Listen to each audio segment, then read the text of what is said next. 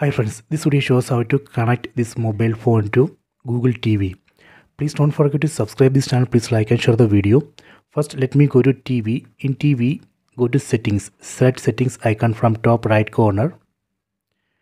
Go to network and internet. Under network and internet, here you can see I have connected this TV to Wi-Fi network named Wi-Fi 2024. If you don't have Wi-Fi router, then you can use mobile hotspot. After this, let me go to mobile phone. In mobile phone, go to settings. Tap on the settings app icon. Go to network and internet. Tap on internet. Here you can see this mobile phone also connected to same Wi-Fi network, Wi-Fi 2024. So this is very important. We have to connect both mobile phone and TV to same Wi-Fi network or mobile hotspot.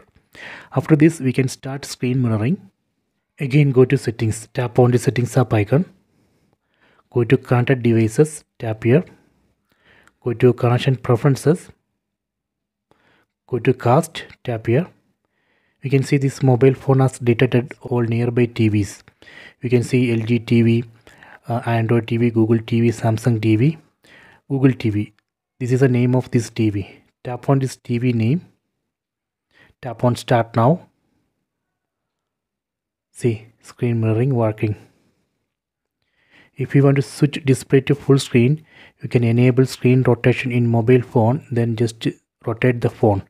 That way you can switch display to full screen in TV. Next I will show you how we can stop this. Again go to settings, go to cast. Here you can see contact TV. Tap on this uh, TV name.